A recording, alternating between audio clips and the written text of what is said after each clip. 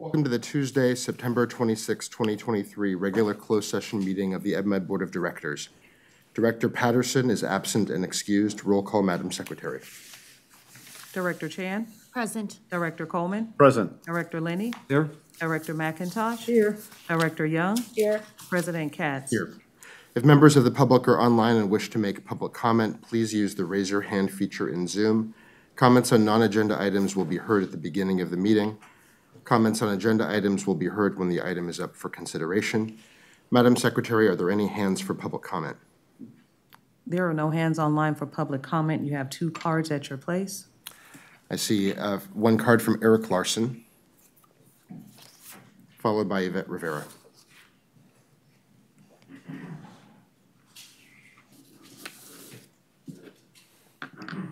Three minutes start now, Eric. Thank you, Richard. Good morning, President Katz, board members, and uh, General Manager Chan. Today, Oakland City businesses are shuttering their doors in protest to rising crime and apparent inaction by Oakland City leaders to address unabated street crime. From property crime, car thefts and sideshows, to shootings, muggings, and public citizens being struck and killed by drivers of stolen vehicles. It's dangerous out there in the streets right now. It's crazy in the streets right now. I've seen them at seven o'clock in the evening come careening around the corners, nearly striking a cyclist. A woman was robbed at gunpoint at nine o'clock in the morning outside of my girlfriend's house on Webster Street. And increasingly, I'm hearing a louder concern from my members, plumbers, truck drivers, meter readers, and water distribution crew foremen with real concerns about their safety. We've been told, keep your head on a swivel. Well, you can't keep your head on a swivel and pay attention to the pipe and the truck and the tractor and the ditch. We've been told, call SOCC and they can send a security guard to do a drive-by. We don't need more drive-bys. We need real solutions. We need long-term solutions and near-term solutions. We need increased security staffing at the district that can be present on job sites and at yards. And we need availability of Oakland Police Department, California Highway Patrol, or the Sheriff's Department where necessary. We also need long-term solutions. We need you, the Board of Directors, and the General Manager to be engaged with policymakers to create systemic changes in the City of Oakland that includes educational and occupational opportunities for local at-risk youth in our city hiring local and providing stable long-term employment and being a rock of our community is part of East Bay Mud's legacy. And the safety and security should be of great concern to the district, both at the community level and the level of our employees who are in the street day and night, keeping the water flowing in our community. Thank you. Thank you for sharing this with us. Uh, Director Coleman. I have a question or comment. I, can this, I mean, what Eric has raised is real. We read about it periodically within our own mem, uh, notes. Clearly, we're reading about it here in the city, in the cities, not this city, but the cities on crime. Can we have a presentation on what might be able to be done or to help on the safety of our employees who are out in the public, maybe to, I guess, ledge HR? Um, Yeah, I- I can provide an update and maybe give me a little time because I'm actually engaging with some other groups on how to address this issue uh, beyond just East Bay Mud. Okay. Um, And some of those meetings are going to take a little time. We'll certainly include um, labor in that discussion. Um, So give me a little time before I bring it to the next meeting, but, but it is something that I am thinking about, about as well. I just requested it be brought beyond Ledge HR. Sure. I'm fine with that if it goes to the entire board, Marguerite. Thank you for uh, engaging the uh, general manager on this, and thank you for the comment. Uh, Yvette Rivera.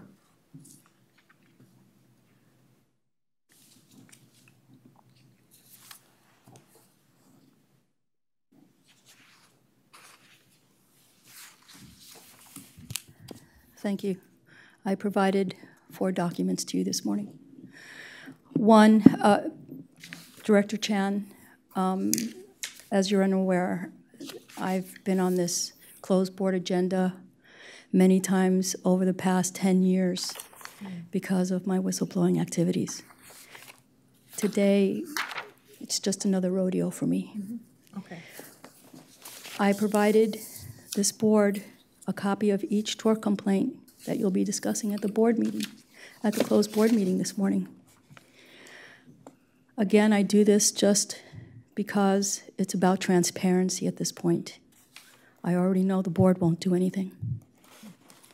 I provided a copy of data that I retrieved from Transparency California. And it's overtime pay for everyone that reports to below managers in my work group. I've reached out to the board members to address the retaliation and discrimination. And this data should give you a glimpse of what that ends up looking like in terms of money. On the card that I just gave the district secretary, I said I would be providing a, an update to the Pierce Bland lawsuit. This afternoon, I'm going to give this board a copy of their attorney's opposition to East Bay Mud's request for a new trial. Part of me would enjoy a new trial because I did miss some of it because I went on vacation. But um, I assume at a new trial, since the hearing was canceled this week by the judge, I'm assuming a new trial won't be given and that the district will have to go to the Ninth Circuit. I'll be giving you this document at the 1 o'clock meeting. I'm going to end by talking about the document that I gave you about the, the woman and her children that were handcuffed in Castro Valley. Alameda County lost a decision, a jury decision, and was asked to pay $8 million to this black family that was detained while they were getting some, while they were trying to get some coffee in Castro Valley. I've given up on believing that any board members, really at any agency, will do anything, even though they have the power to do it. If you turn over to the back of this document, it really symbolizes what happens here at East Bay Mud. Obviously, it happens at other agencies.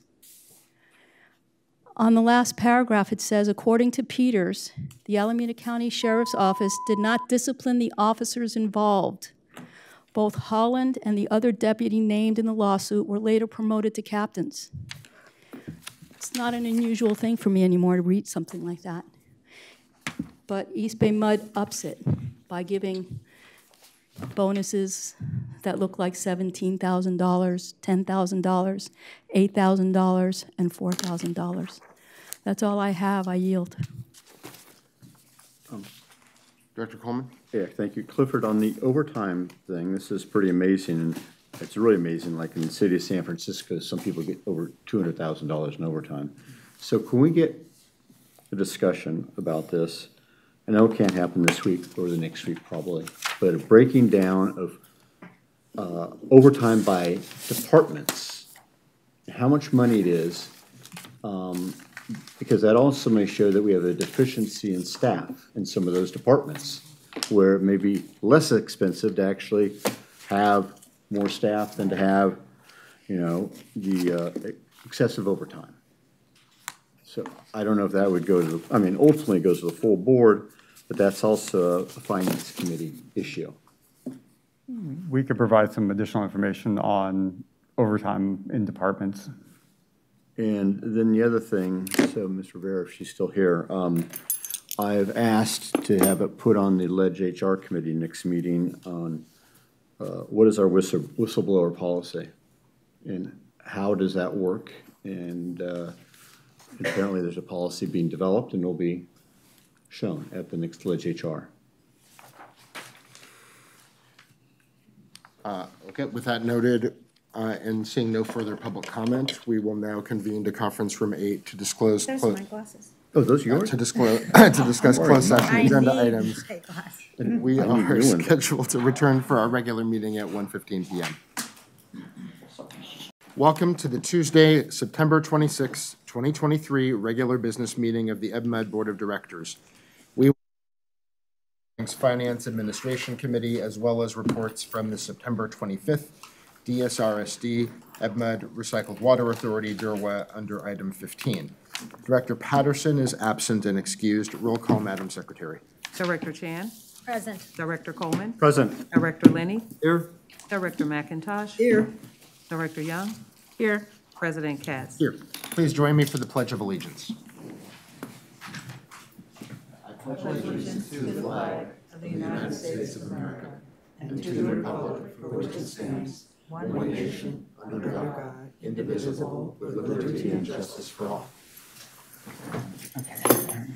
There are no announcements from closed session.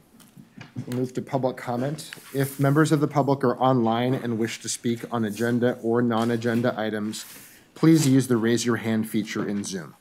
Comments on non-agenda items will be heard now.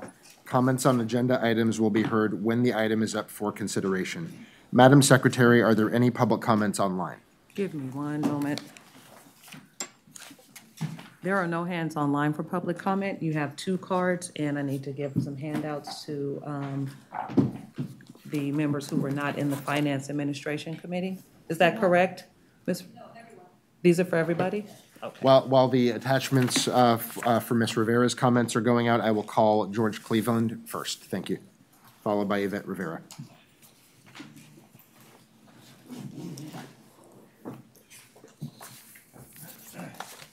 Uh, Good afternoon, members of the board, General Manager Chan, everybody in the room. Um, You heard something earlier this morning at the, at the public comment in the closed meeting about this entity called Transparency in California. And the data, I just want you to take that with a slight grain of salt because their parent company is based out of state and they are anti-labor, anti-union, anti-worker. So I'm just putting that out there. And I guess the other thing is, this is my last board meeting as an active employee, mm. because I'm retiring. And I just want to say, I'm glad I worked here, and I'm glad I was able to present to the board on various topics, and I hope that you didn't take anything I said personally. Um, But I'm glad to have worked here as long as I have, and I do have great respect for you as a body. And now I'm going to be retiring, I'm just going to be one of Director Young's constituents. So I just want to say thank you very much, and that's it. Thank you, George. Thank you,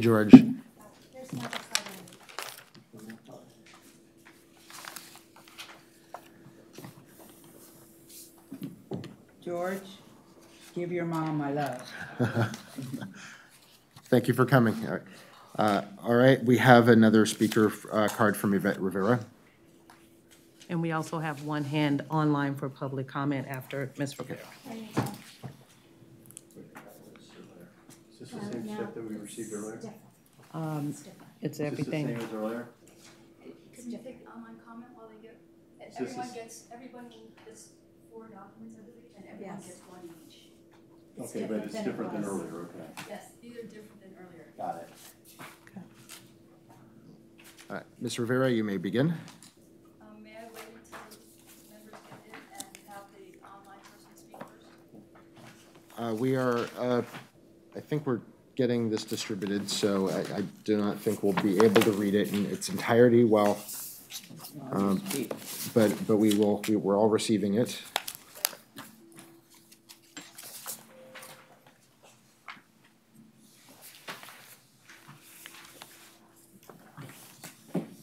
And now everybody has a copy, so please go ahead. Thank you. I just want to make a comment about what George Cleveland just said. The data that I extracted was from myself and people that work for Ed Betancourt. Data that I did look at on Transparency California showed that some employees, I think there was one employee that was, what I read was getting a salary of 192,000 and OT was close to 190. So that's a good report to ask for. I provided this board in this meeting four documents. Several of these documents are for April Chan's benefit because she hasn't been here in the years that I've been retaliated against since I first came to the board in December 2013 and 2014. One of the documents is, you know, I'm not a lawyer, so I filed federal civil rights lawsuits all by myself. One of them was a, a petition uh, for order allowing the filing of pleadings containing a cause of action against attorneys based on civil conspiracy with client. At that time, it was against Lourdes Matthews and Jelana Collins. So And as you can see, the tort complaints do list general counsel's office, the recent tort complaints. The next document is a verified petition of writ of mandamus for decl- declaratory relief that I filed against PERB. I got an attorney to help me with that one, and that was so that I exhausted with PERB.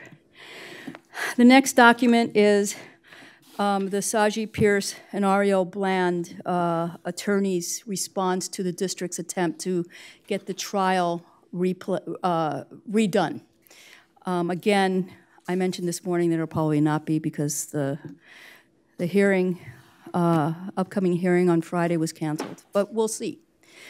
The next document is the United States Ninth District um, memorandum that I would, I want to say, ended my previous lawsuit. And I really hope that this board considers having your HR staff read it, because in the back of the document, it talks about the, the judges, um, talk about how the retaliation portion of the case shouldn't have been thrown out, how the warning letter I received could be construed as retaliation. By the way, Clifford Chan, the general manager, the present general manager, was the director in charge of my group and let that happen. Um, the last thing I want to say is I gave you an article this morning about the women, the black family that, that basically were put in handcuffs when they were sitting in front of a Starbucks in Castro Valley. And I told you how those police officers weren't punished, they weren't disciplined, they were promoted to captain. What I didn't say then was, this morning was, the message that Alameda County sent to all of the police officers on staff was, number one, you're not going to get punished if you can't tell the difference between a black man and a black woman or a, a black adult and a black child. And number two, you are going to get rewarded. And it's basically the same scenario here at East Mud. Not only will you get promoted, but you'll get a bonus. I yield. We have a speaker online, Madam Secretary. Yes, give me one moment.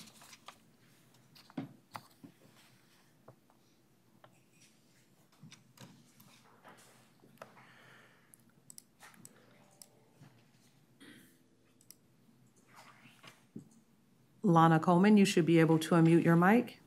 Uh, yes, can you hear me now? Yes, your three minutes start now. Thank you. Hopefully this will be short and very painless. I, am commenting, actually, it's item one, the approval of the minutes on the consent calendar. I want to, I want to correct. Um, can you hear me now? It says that I spoke last time about the investigation, the scope of the investigation, my allegations, and the current court appeal. I want to have that I spoke about the court appeal removed.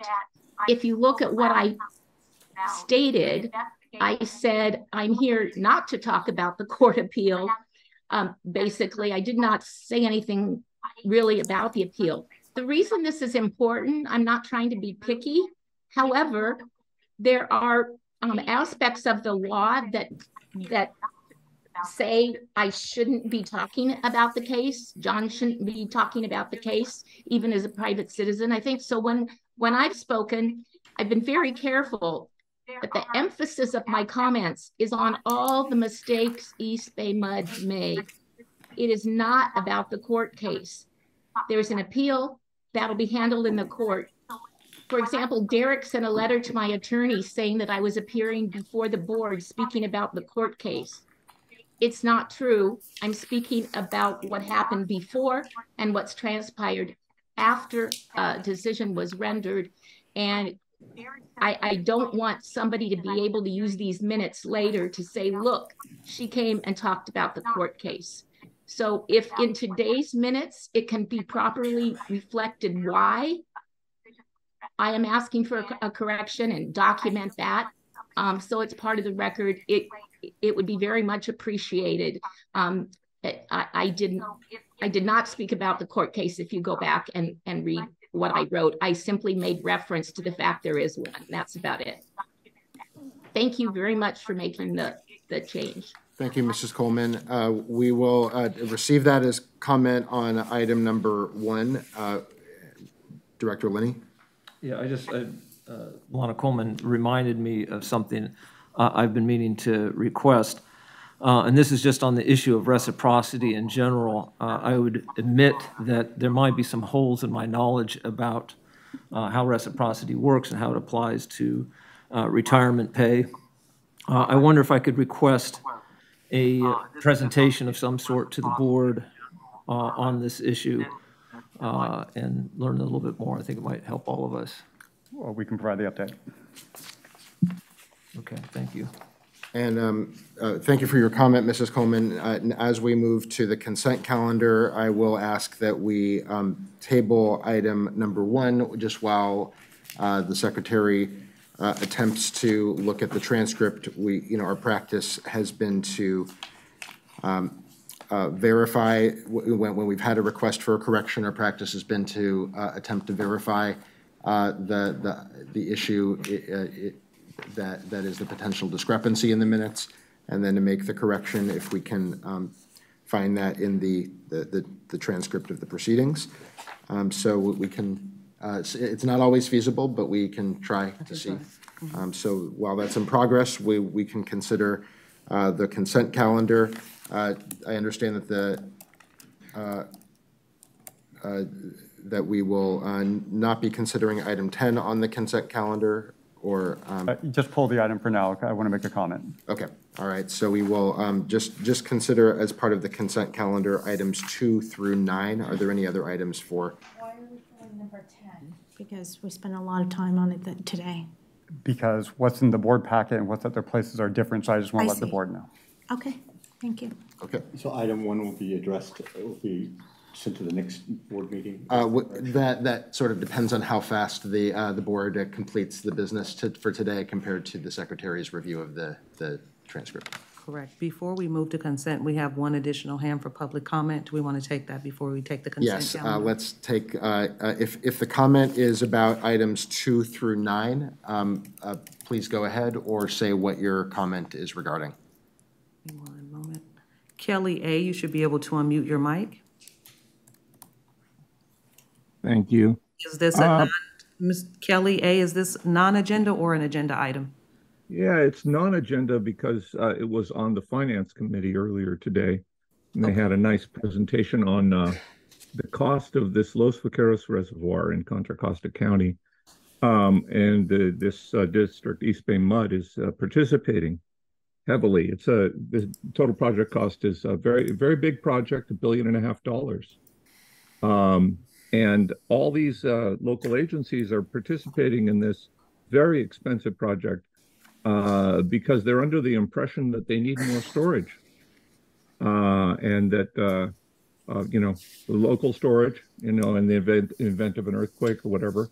And uh, you know, if that's the case, um, I'm wondering why aren't these agencies wor- and and they're holding that up, by the way, the Los Vaqueros, as a shining example of uh, regional cooperation.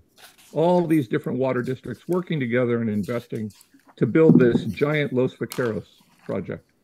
Um, I'm wondering why uh, the same kind of thing doesn't happen elsewhere in the Bay Area with giant new water project, water uh, storage reservoirs being planned um, especially you know in very critical areas like right along the state aqueduct, the South Bay Aqueduct. I'm, I'm not the state aqueduct, the South Bay Aqueduct, um, in uh, southern uh, Alameda County and northern uh, Santa Clara County, a place that some of you may have heard of it. It's called the Calaveras Reservoir.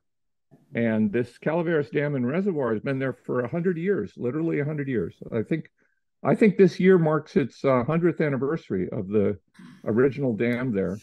And uh, they, they, uh, there are plans underway to add another roughly maybe almost uh, 300,000 acre feet there. Uh, and only one agency is participating in that one. And that thing is uh, 300,000 acre feet. That's a lot. That's a lot bigger. That could be the biggest project in the Bay Area on the drawing boards. And I'd, uh, I'd be asking, uh, why don't we get more participants? Why not East Bay Mud? Since East Bay Mud has uh, how many millions of customers? Uh, get out, get out there and participate. Because even if the water is not directly in your line of travel, you know there are ways to um, trade off the water and get the water to get water to your customers. So it's a regional asset. East Bay Mud is a big part of the region. So is the you know so is the uh, Valley Water. So is uh, SFPUC. So is everybody uh, in the Bay Area. This should be another regional project. It should it should be uh, managed uh, much more broadly, much more regionally, kind of like Los Vaqueros is, and should not be the sole purview of one agency. Thanks. If I can just speak to that, not as a rebuttal, but Los Vaqueros is a partnership including the San Francisco Public Utilities Commission, agencies down in uh, the Livermore area as well. I think Alameda County Water, in addition to Santa Clara Valley Water, and so it's a regional thing. The Calaveras Reservoir, I don't know where it is in the planning stages. I can tell you Los Vaqueros in planning, it's been planned for years to get to where it is today. And uh, who knows when Calaveras may get to that stage based on cost and environmental review. So I'm just, just for the record noting that. All right, we are, we have in front of us the consent calendar. Uh, Is there a motion to approve items two through nine? I'll second. Moved by Director Young and then seconded by Director Linney. All those in favor, please say aye. Aye. Opposed, abstained, motion carries. Item number 10, General Manager. Yeah, so at the uh, Finance Administration Committee uh, meeting today, uh, we, um, they recommended and approved changes to policies 6.04 on the ethics policy and 7.11, um, and that's the use of District Bay Area facilities. Those revisions are at your places. I just want you to be aware of that before you vote on that because it's different than what's in your packet. We had ex- extensive dialogue on those uh, two policies. Um, I can assure you, it was extensive. And It was, the board, the co- uh, committee, since Bill was not there, it was a two to zero vote to support the changes. Dan, I'll, I'll, I mean, I'll move item 10. Uh, Do you want to say anything? April? No, I- I just want to thank Sophia and Barry for their quick work. Um, I really appreciate it. Feels good to get all of this done and set aside. Thank you. And I'll second.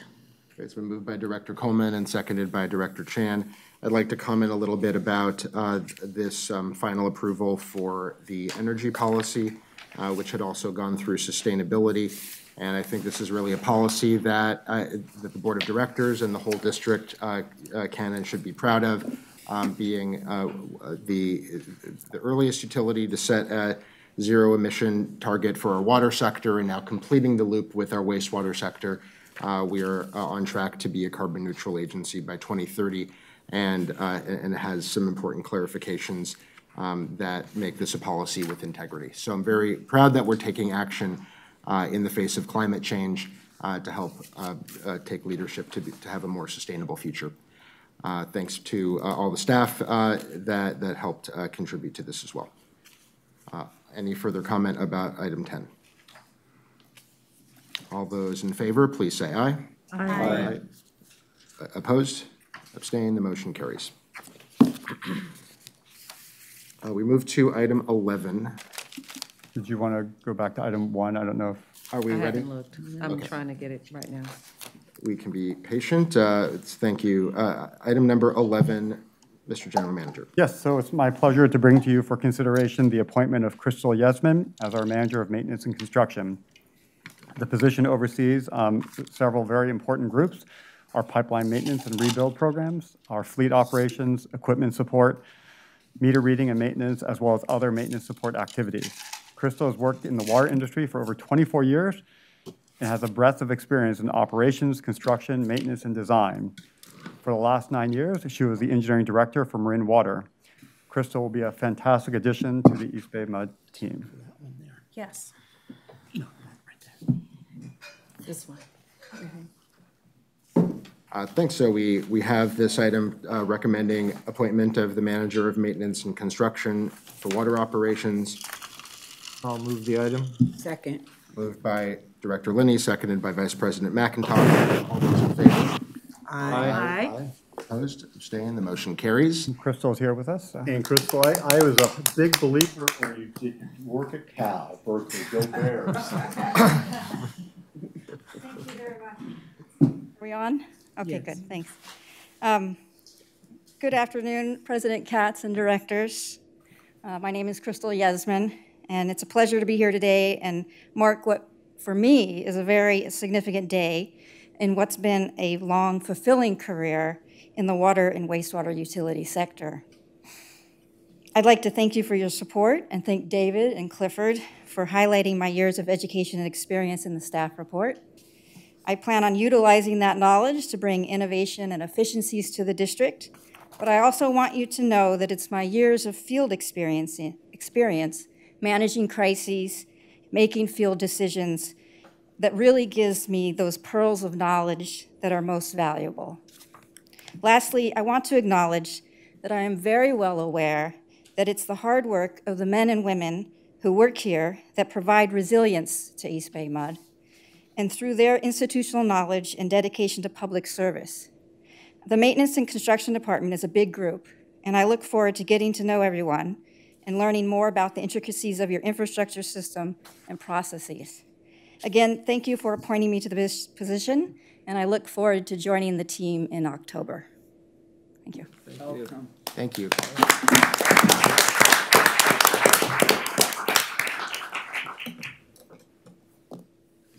Next item is the proposed financing plan for fiscal year 2024. Yes, so as you're aware, each year, um, the board considers our proposed financing plan. We did present this item to the Finance Administration Committee earlier today, and it was supported by the committee. We have Robbie Haney here, our Treasury Manager, um, with a brief presentation for your um, uh, uh, viewing or uh, consideration prior to, oh, sorry, prior to consideration of this item. Okay, I'm trying to know how to control. Okay, so uh, good afternoon. Thank you. Um, Each year, we present the financing plan to the Finance and Administration Committee and then to the full board uh, for approval. And so I'm going to briefly go over the fiscal year 2024 financing plan. And um, I already advanced the slide. The first slide here is an overview of the debt that we currently have outstanding. Uh, For the water system, we have 2.6 billion in debt. Most of that is fixed rate revenue bonds. 11% is variable rate commercial paper, and then we have a couple small state loans. And then on the wastewater system, we have 338 million of debt outstanding. All of that is fixed rate revenue bonds. And then our credit ratings are very high. Um, For the water system, they're AAA for s and Moody's. That's the highest rating you can get. Also, we're the only water utility rated AAA by Moody's in California. For the wastewater system, it's AAA by s and P as well, and then AA plus or the equivalent by Moody's and Fitch. So, so both, so all very high ratings. This is what we did the last fiscal year in terms of debt. Um, We did not issue any new money revenue bonds. Our last uh, new money issue was at the end of fiscal year 2022, so given that that was in June, right before the fiscal year, we didn't need to issue any in 2023. In December, we did call early 14.3 million in bonds, which lowered our interest costs. And then we fully paid off our wastewater extendable commercial paper program, something that had been out there a while. It had 8 million left, and we paid it off. And then uh, at the end of, or in May, we paid off 14 million in water system commercial paper, something that we've been gradually doing over the years, paying off parts of that program. So here's the um, actual proposed plan for this fiscal year. We plan to issue new money bonds in March of 2024 to pay for capital projects, and we're currently targeting 275 million, so 275 million dollar bond issue, which is the amount that was in our budget. Though as we get closer and we look at our cash flow needs, that could, could go up or down a little. Um, the underwriters selected for this are J.P. Morgan, Citigroup, and Siebert. They were selected from our underwriter pool, and um, that was part of a competitive process based on responses to a request for information. And then anytime we issue new money bonds, we look for chances to refinance some of the bonds we have outstanding. As I said, we have quite a few bonds out there outstanding, so we look for chances to refinance those for savings. And we think we're going to be able to refund about 213 million in outstanding bonds. And in today's, the market will change between now and March, but in today's market, it would get, that would give us a net present value savings of about $29 million with that refunding. And then onto a couple smaller pieces. We'll continue to pay down a portion of our commercial paper. We're, we're, we're planning for 10 million. And then at the end of the year, we've got two liquidity agreements um, associated with our commercial paper program that, that expire, and so we'll need to renew or replace those at the end of the year. So that's, that's everything on water. And then on wastewater, we also plan to issue new money bonds in March. We're targeting a $25 million bond issue, so much smaller one, but obviously for the smaller of the two systems. And uh, like water, um, like on the water system, we will look for um, refunding opportunities, but we don't think there will be on, on this one. So there probably won't be a refunding. And Ramirez and Company was selected as the underwriter for this bond issue. Okay. Um, oh, I, sh I should a question came up at the administration committee, uh, the finance and administration committee about um, where interest rates are at or how they've changed over time. So I have a little bit more information on that, on that than I was able to give then. Of course, you've probably heard interest rates are up. There's certain reasons why they're much higher up on the on the on the early years of the curve. Like certainly short-term rates are up a lot, and we're borrowing on, on out 30 years. So we're not. It's it's not quite as much as like you might see in money market funds. But um, to give just to give an example, in 2019 we, we issued bonds and we borrowed at 3.25%. If we were to issue today, which we can't, we're not doing it today, we're doing it in March, so interest rates could go up or down by then, but it would be around 4 point, a little over 4.1%. So since 2019, our interest rate for borrowing is up a little less than 1%.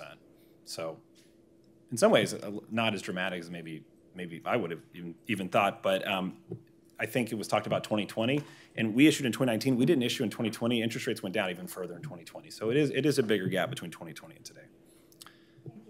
Yeah. Um, okay. So green bonds. Um, this is this is we're about at the end. Um, the new money bonds are planned to be issued as green bonds. We're um, we're an agency that's considered uh, an expert in this space. We've done it quite a few times. This will be our fifth water green bond issue and our second wastewater green bond issue. And bonds, you know, you all know this, but bonds that are labeled green bonds are used to finance climate change resilient projects or other environmental, environmentally beneficial projects. And we select the projects to finance with green bonds using our green bond guidance that was updated and adopted by the board in 2022. I put in a snapshot, in case it's interesting, of what our bonds look like on Bloomberg. We get a little green leaf next to, next to our name. We're, of course, doing it for more reasons than that, but as one of the things investors see when they're considering investing in our bonds. Robbie? Yes. Quick question. Sorry, quick question on the green bonds. I'm glad we're doing it. I remember when it was raised a number of years ago, there's hesitancy, maybe because it was so new at that mm-hmm. point in time. How many other municipalities that deal with water or wastewater are uh, getting green bonds?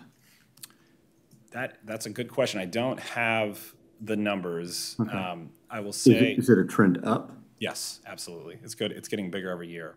Um, we first did we first did our green bond issue in 2015. We were one of the early ones. Now it's it's fairly. I mean, it's less than half, but it's still it's fairly common and it's growing. Um, there's an organization called CDIAC that's run by the state treasurer's office that did a webinar on green bonds last week, and we participated as we were considered kind of like a like I was saying, we're like an expert agency in this. So like we gave our, our perspective, and there was 179 attendees to this webinar, and you really wouldn't attend unless you probably worked for a government agency in California interested in this. That was more than just water systems, but um, it, the interest just keeps growing. And then and the investor interest is growing too. There's more and more um, bond funds that are targeting these kind of bonds, like they have a mandate to buy this. It, that's still small, but um, but but that's definitely growing too. So is California on the vanguard, the lead, where this is happening? with agencies? I think so. I bet if you ran the numbers, we're the biggest, but that's in part because we're the biggest state, and, we, and our state issues the most bonds. But um, the it's happening nationwide. Even but, in Florida. Say what? Even in Florida? Yeah, that's a good question. Uh, you have me curious. Uh, I'll, I'll, look. I'll, I'll, look into that. Um, my guess is is that it's disproportionate, you know, in, in California. in California, even even even compared to its size. Um, I, I just might recommend to have, um, I don't know, Sophia's in the room, I can't see, she's probably behind your head, hi. Um, is, is whether we could have Ceres come and do, um, give an over, maybe to the Finance Administration Committee on, um, you know, what the trends are with green bonds and who's buying them, who's issuing them, um, what the, um, criteria and, because in the early days, there was a lot of concern about AstroTurf green bonds, green bonds that actually were being, that, you know, people issuing green bonds that actually really weren't.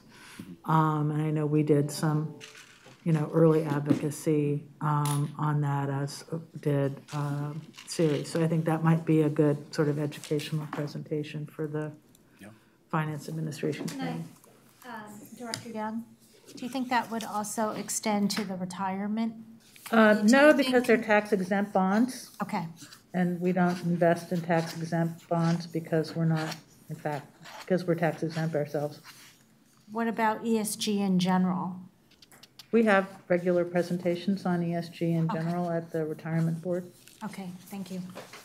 Yeah, the market's really interesting. There are, so corporate, there's corporate green bond issuers too. We, we, of course, when we're an issuer of bonds at the district, we're issuing in the municipal bond market, taxes exempt bond market.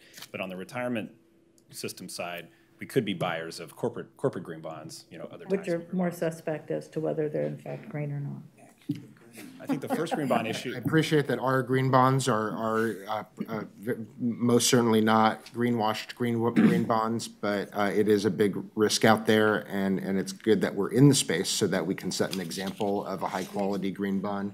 At the same time, though, I think we, it's been really hard, at least as of, uh, I haven't, you know, received this presentation, um, you know, since rotating off the Finance Committee, but when I had asked you about this previously, it didn't seem like there was really a very significant um, price benefit in the market.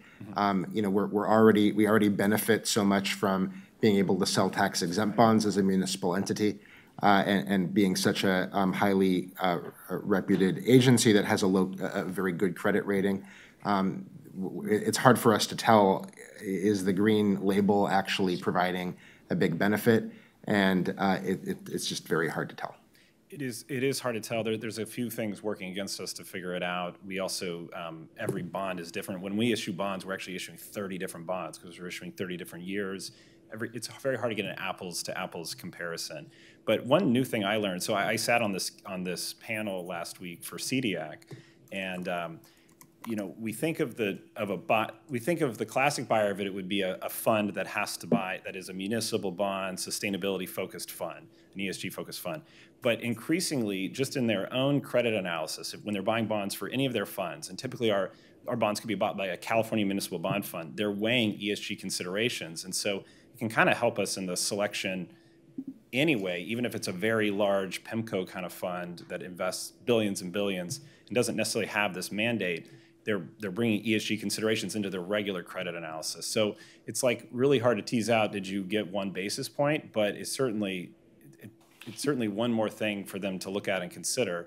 And then we've gone a long way um, to really put a lot of information in what's called our official statement, our sort of, our statement that we put out there, the book about us when we're borrowing, that has a lot of information about our approach to this, the projects that we're financing, and um, we're told, we're told people like it, so. um, But it is, it is hard to get that, oh, you saved X amount of money by doing it. Question, so is there any requirement by CalSTRS, CalPERS, or any other state retirement entity when they're going out and buying bonds to try and buy green bonds? Are they required or not, or do they even look at it? Well, they, they're, they're of course very large versions of our small retirement system, Yeah. so I can speak a little bit to retirement system in general. When they, when they, if they hire a fixed income manager with a mandate to focus on, uh, like with an ESG focus, then, it- then it, it could be that. They wouldn't, like Director Young said, they wouldn't be buyers of our bonds because they don't pay taxes and all of our bonds are tax exempt. But um, they, they can have, they've got some portion of their portfolio um, committed to fixed income, and could be within that, a smaller portion, you know, is directly, directly buying green bonds. Thank you. Okay?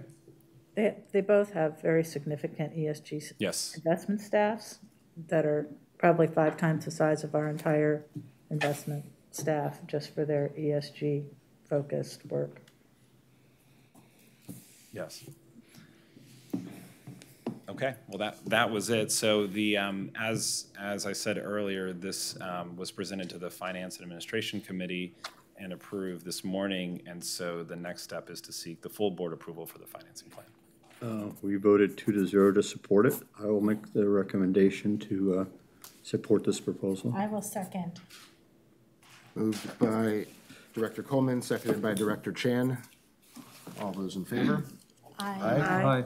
Opposed? Abstained? The motion carries. Thank you. Thank you, Thank you. So for the next item, this is a resolution on Clean Air Day. Um, Last week's poor air quality caused by the smoke from wildfires in Northern California and Oregon is a reminder of the importance of air quality.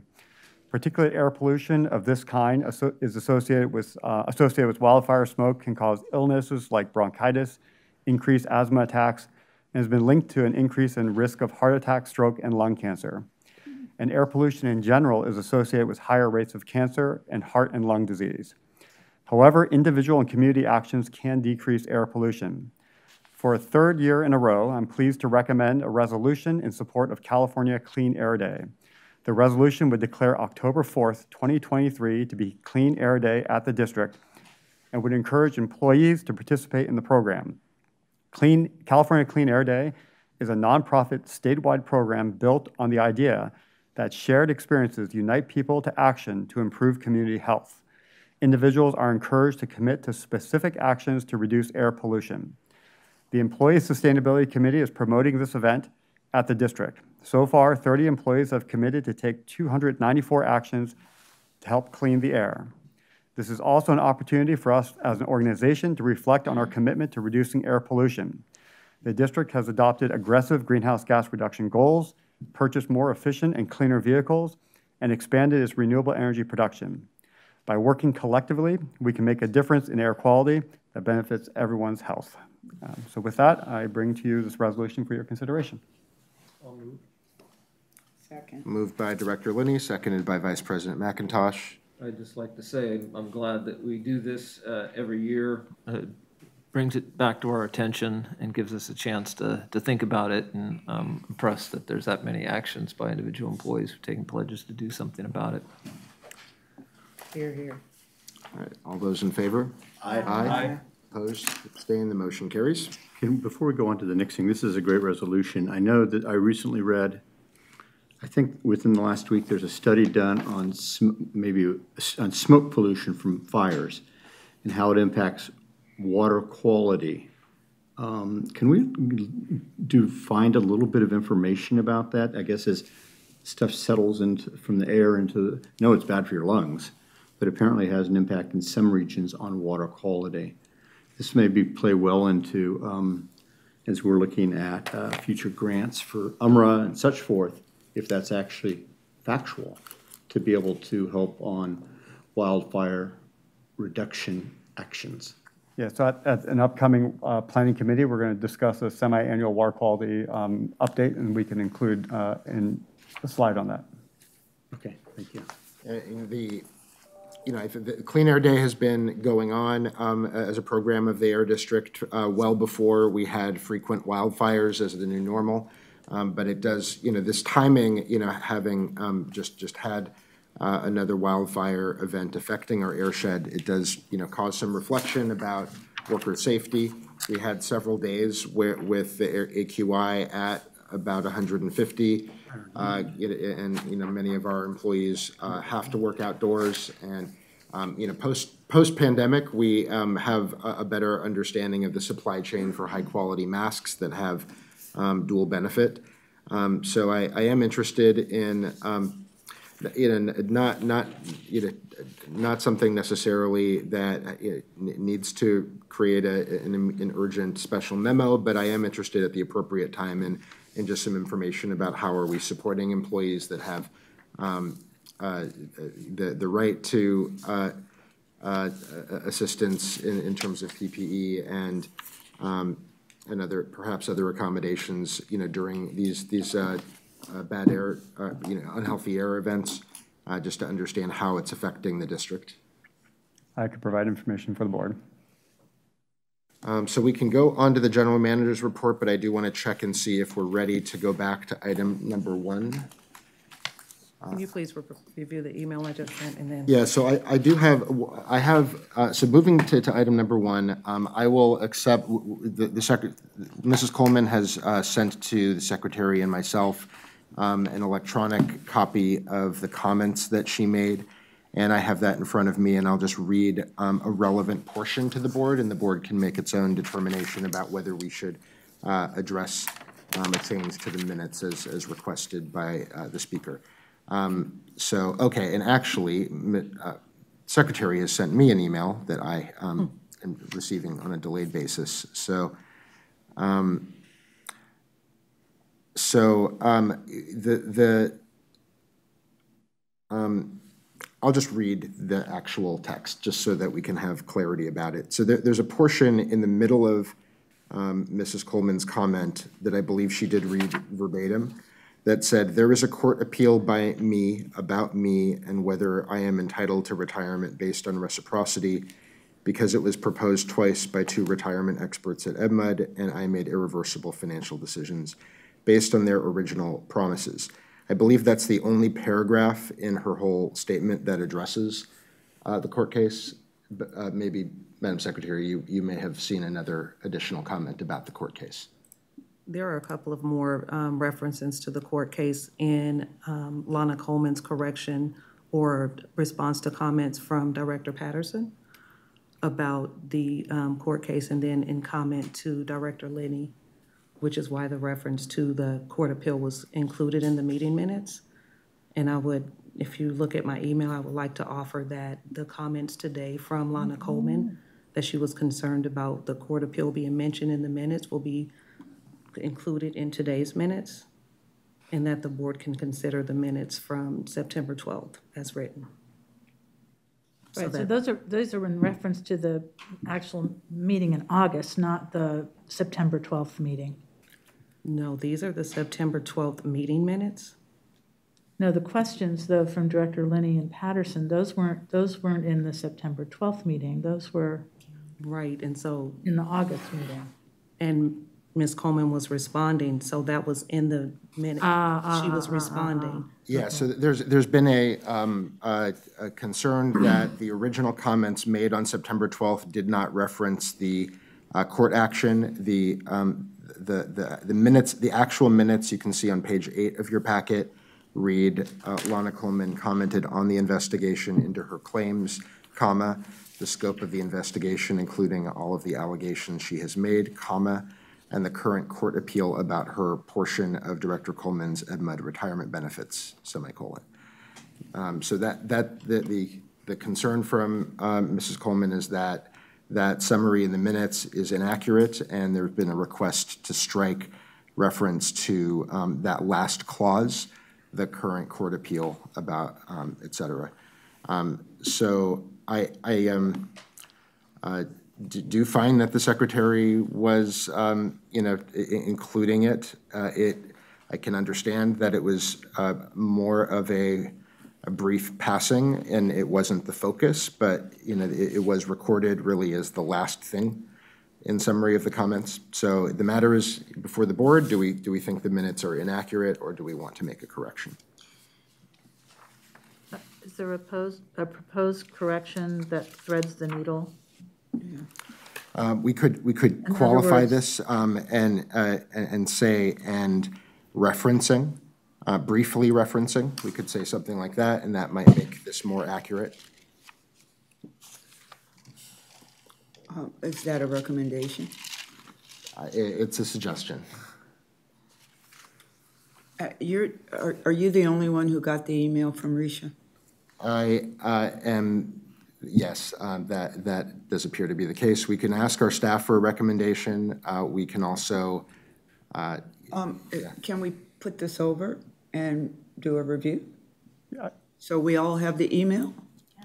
I, I think what Risha is probably recommending is, because her minutes are just a summary of what was discussed, is approve the minutes as is, but in this, today's meeting minutes, note Lana Coleman's comments about um, the appeal, so that between the last meeting minutes of what was the summary and capturing what you said today um, uh, clarifies. In the spirit of um, just receiving that, uh, that there wasn't an, you know, I- I- there wasn't an intent to talk about the court appeal in depth, and reviewing her actual comments and finding that it wasn't discussed in depth, but it was mentioned, um, I, I, you know, I I will step forward and recommend that we um, r- receive her comment today, and then in adopting the minutes, um, just insert the words uh, in the context of the summary of what happened, not verbatim, um, uh, because we do have the actual re- comment provided as a public record received by, by the district. We have the actual comment if, if it's ever needed. The Uh, comments were actually filed with the meeting minutes, so we have the, the meeting, the comments verbatim as well. But, but given that our, our practice is, uh, you you know, if it, if it was um, what was said, we do reflect it.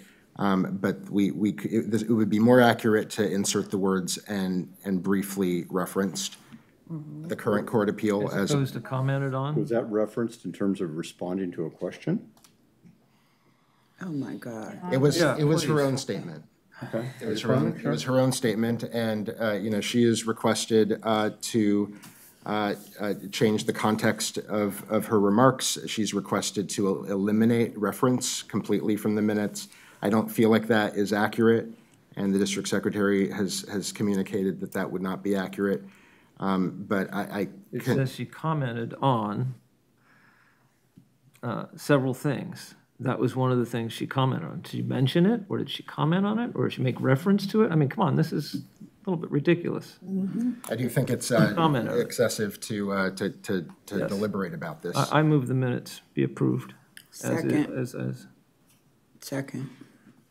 Um, Lord Jesus. Clarifying question. So does the motion include Risha's cure, proposed The cure? motion is as Uh, there- is. There was no cure from. What was she proposed from Risha. suggested? I, She's- I I she made a suggest- proposal, uh, but. You did make, I, I heard, I heard that you suggested that um, in this, in the uh, minutes for this meeting, that we include what Ms. Coleman said, her concerns, and then you suggested that we, that the comment was briefly referred to. So I'm just saying, That was Clifford. no, that was me, I think. Yeah, I think, I think we, we will expect that, that the minutes proposed at our next meeting of today's minutes will reflect what um, Mrs. Coleman said during. So is that part of the motion? I don't think it needs to be The motion is to Just approve the accept the minutes minutes. as they are Approve the printed in. minutes.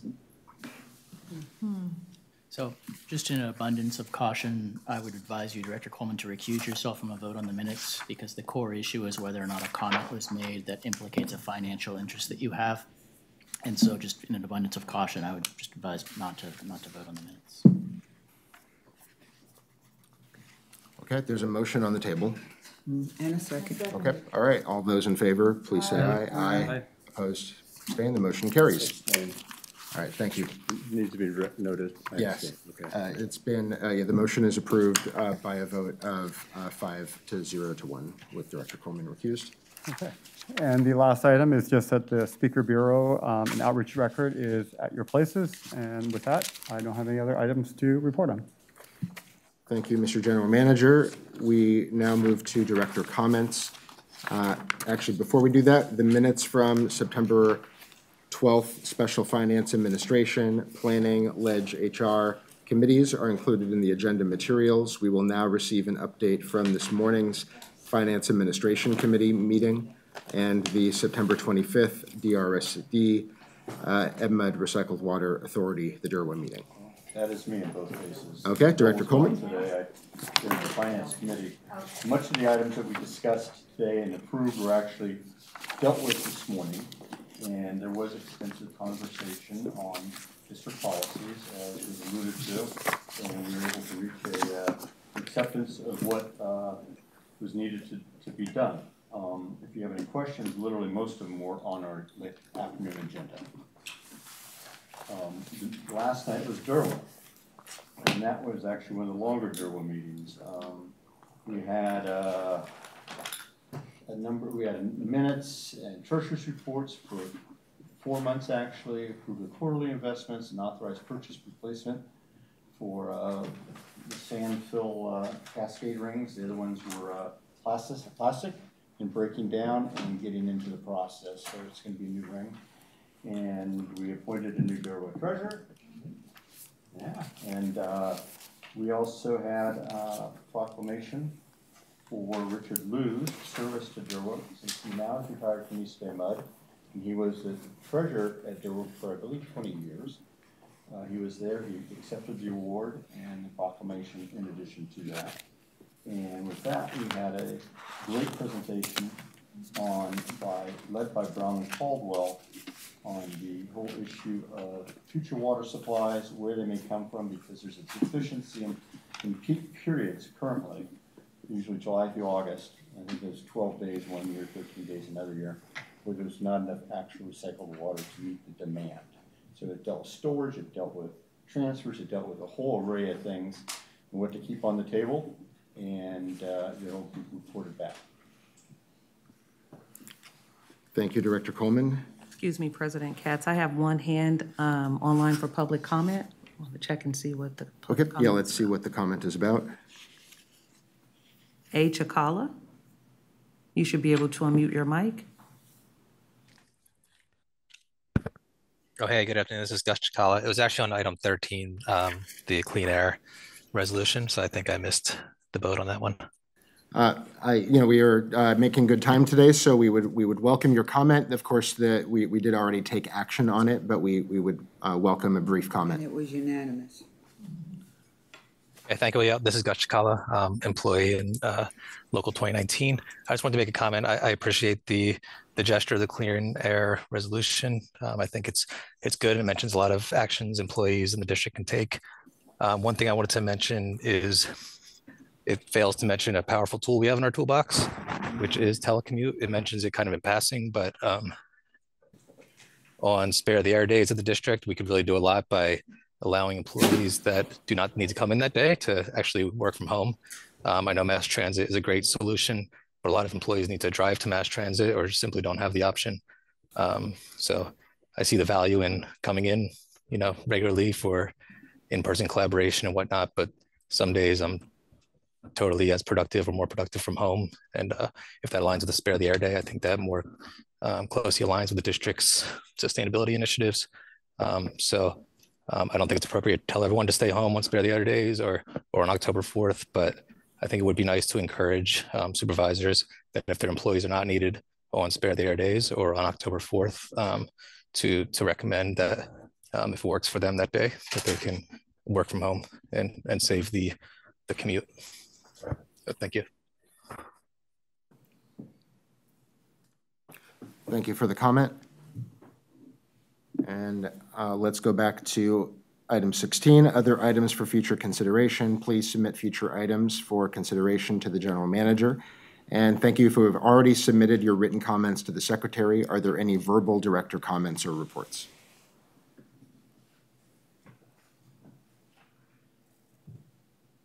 Okay, seeing none, the, the next regular meeting of the board will be held on Tuesday, October 10th, 2023 at 1:15 PM.